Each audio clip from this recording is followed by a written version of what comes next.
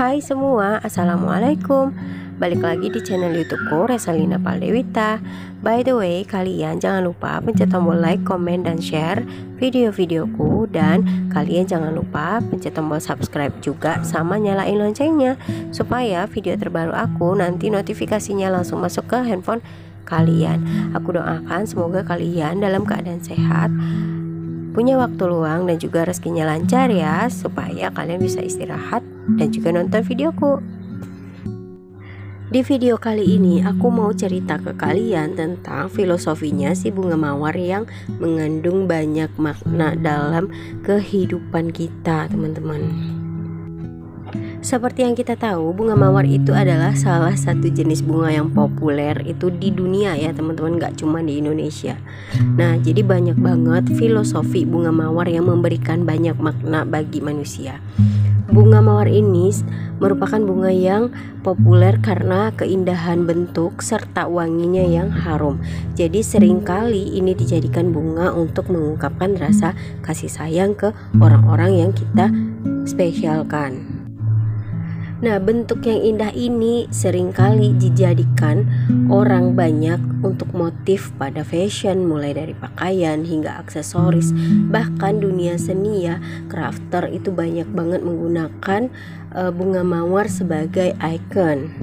Dan karena bunga mawar ini juga wangi banget, makanya sering juga digunakan oleh orang untuk campuran aroma parfum lah, bahan kecantikan, sabun, masker, dan lain sebagainya, teman-teman. Oleh karena itulah kita mau melihat ya bersama-sama apa aja sih filosofi bunga mawar yang ada di kehidupan kita ini dan kenapa. Seperti yang kita ketahui teman-teman bunga mawar itu tuh cantik banget memiliki duri-duri kecil pada batangnya Sehingga kalau kita pegang nggak hati-hati nih waktu metiknya tangan kita tuh bakal luka, kegores sama duri-duri bunga mawar yang tajam. Nah, jadi duri bunga mawar itu mungkin melukai kita sebenarnya. Padahal bagi tanaman itu sendiri, adanya duri tersebut bisa melindungi uh, bunga mawar dari serangan orang lain, serangan hama lain yang merugikan dirinya.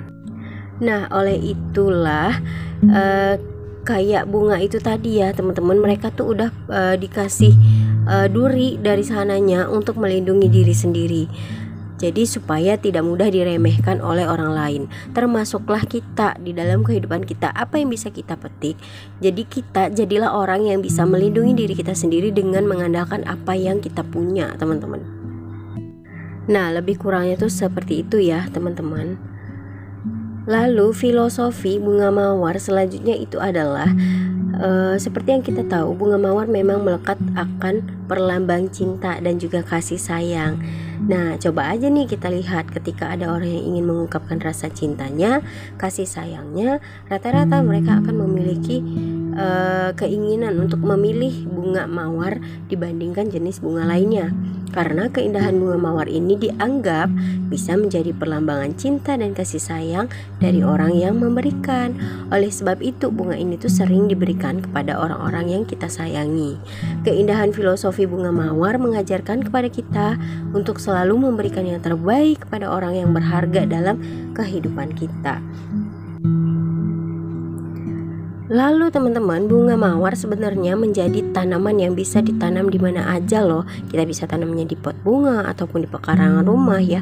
Tidak harus di dalam pot, di tanah bisa. Tapi tetap cantik, gak akan mengurangi kecantikannya teman-teman. Ya, walaupun kita tanamnya tuh di tanah di pinggir selokan atau gimana pun ya di mana pun tepatnya ketika dia berbunga dia akan tetap kelihatan unik dan indah. Bener gak sih? Nah filosofi bunga mawar ini mengajarkan kepada kita kalau di mana pun kita berada asalkan kita memiliki komitmen dan prinsip dalam hidup maka hal tersebut tidak akan menjadi masalah. Dan kita seakan sanggup uh, menghadapi itu uh, dengan memperlihatkan kebaikan dan kejernihan kita sendiri tanpa harus menjatuhkan diri sendiri gitu. Yang penting kitanya mau berusaha dan semangat terus kalian pasti inget dong di mana pun baik di desa di kota bunga ros itu selalu ada kan? Di perusahaan ke kecil perusahaan besar gitu. Yang penting kita itu punya kelebihan seperti bunga mawar yang diasah terus maka kalian di mana pun akan ber, di mana pun berada akan tetap uh, indah kalau memang kalian sudah konsisten dan komitmen. Nah, masih nyambung ya teman-teman sama yang tadi aku bilang di mana pun uh, bagaimanapun tempatnya jorok bersih pun kalau seandainya dia udah unik dan udah udah cantik itu bakal dicari orang. Nah, bunga mawar ini tuh dicari banyak orang tak hanya karena keindahan tampilan, tapi juga unik. Ada bentuknya unik, berkelompoknya banyak gitu kan. Pokoknya tiap jenis bunga mawar itu tuh beda-beda, bahkan wanginya juga mempunyai ciri khas gitu. Nah, bentuk kelompok mawar memiliki ciri khas tersendiri antara satu dengan yang lainnya. Nah, jadi dari filosofi bunga mawar yang ini mengajarkan kepada kita kalau jati diri kita itu sangat penting.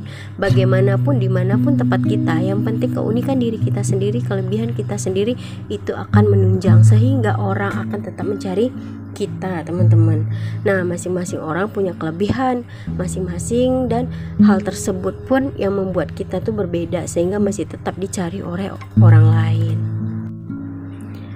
tapi teman-teman di balik keindahan juga ada masanya bunga mawar ini tuh layu ya pasti akan layu. Setelah indah bunga mawar itu akan layu dan kemudian berguguran. Nah filosofi ini juga mengingatkan kita dan mengajarkan kita kepada Selayaknya kita makhluk hidup, kita pasti akan menua dan menemui Sang Pencipta kelak. Jadi, ingatlah kalau keindahan yang kita dapat di dunia ini sifatnya tidak akan abadi. Jadi bersifat sementara gitu ya, teman-teman. Oleh karena itu, kita tidak boleh merasa tinggi hati. Nah, selanjutnya yaitu bunga mawar menjadi simbol keharuman, teman-teman. Di dalam agama Islam pun, filosofi bunga mawar selalu dianggap sebagai simbol keharuman ya karena di dalam ajaran Islam menggunakan wewangian merupakan hal yang sangat dianjurkan terutama sebelum beribadah. Pada awal masa Rasulullah dulu juga bunga mawar selalu dijadikan sebagai bahan utama minyak wangi loh dan digunakan sebelum melakukan ibadah seperti sholat. Nah, inilah yang membuat filosofi bunga mawar selalu dikaitkan dengan Islam. Dari filosofi bunga mawar ini, kita bisa belajar kalau dalam hidup usahakanlah untuk selalu melakukan perbuatan yang bisa membuat nama kita menjadi harum, seperti berbuat kebaikan terhadap sesama dan kebaikan-kebaikan lainnya. Lalu begitu jugalah dengan aroma daripada bunga mawar ini menjadi anugerah dan keindahan dunia yang tak terdustakan, teman-teman. Ya, maka apabila langit telah terbelah dan menjadi merah mawar seperti kilapan minyak, maka nikmat Tuhan kamu yang manakah yang bisa kamu dustakan? Nah itu udah tercantum di dalam Al-Quran surat Ar-Rahman yang di mana menurut uh, logikanya juga ya mawar yang melambangkan keindahan dunia tidak boleh kita dustakan. Ibaratnya jika kita itu udah memiliki kenikmatan dunia maka harus selalu disyukuri dan dinikmati teman-teman. Jangan mengeluh dan terus semangat Nah, begitulah ya kira-kira filosofi bunga mawar yang e, bisa mengajarkan kita, banyak mengajarkan kita hal-hal penting yang harus kita sadari dan kita ingat. Jadi, kalian wajib tahu dan kalau punya tanaman ini wajib dijagain ya, biar makin lengkap deh suasananya. By the way, aku mau ingetin kalian yang belum like, komen, dan share videoku, jangan lupa like segera, komen, dan share juga. Terus nyalain tombol loncengnya ya, supaya notifikasinya langsung masuk ke handphone kalian. Assalamualaikum dan sampai ketemu di videoku selanjutnya ya guys.